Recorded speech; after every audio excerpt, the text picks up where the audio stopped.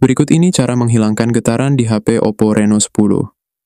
Pada saat kita menekan tombol Home, Kembali, dan Recent App, namun ada getar. Kalau kalian merasa tidak nyaman, nah untuk getar tersebut dapat dimatikan. Masuk di setelan atau setting. Kemudian scroll ke bawah. Di sini ada suara dan getaran.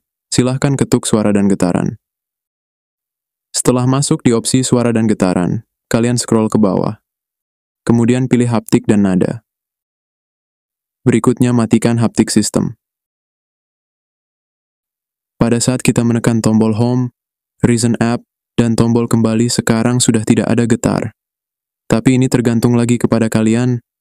Kalau saya sendiri sih merasa tidak nyaman, pada saat sentuh HP ada getar.